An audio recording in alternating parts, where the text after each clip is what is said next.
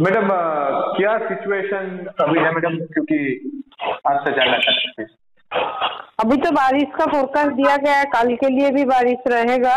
कल के लिए गुजरात रीजन में एक्सट्रीमली हेवी होने का संभावना नहीं है लेकिन उत्तर सौराष्ट्र में हो सकता है। Three systems are activated madam.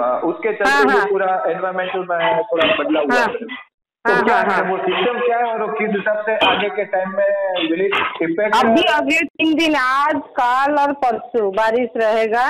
System है कि वो एक ट्रॉप है इससे ट्रॉप है सियर जोन है। इससे। सब सियर जोन है और एक सर्कुलेशन भी है और मानसून ट्रॉप गुजरात होके पास हो रहा है। उसके कारण से बारिश हो रही है। आज रहेगा कल कल भी रहेगा परसों से कम होने का संभावना है।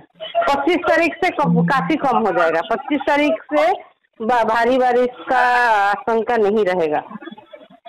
ठीक है मैडम। मैडम अभी गांधीनगर में मीटिंग हुई है इस बारे में तो क्या आउटकम है किस चीज़ पे बात हुई और how Gujarat government is working in गु- गुजरात गवर्नमेंट वर्क वर्क कर रहा है उनको ब्रीफिंग दिया गया है। सारे सिस्टम का बारे में बारिश का बारे में गुजरात स्टेट एक्शन ले रहा है। सारे जगहों में एनडीआरएफ एसडीआरएफ डिप्लॉय हुआ है ऑलरेडी वो काम पे लगे हुए हैं।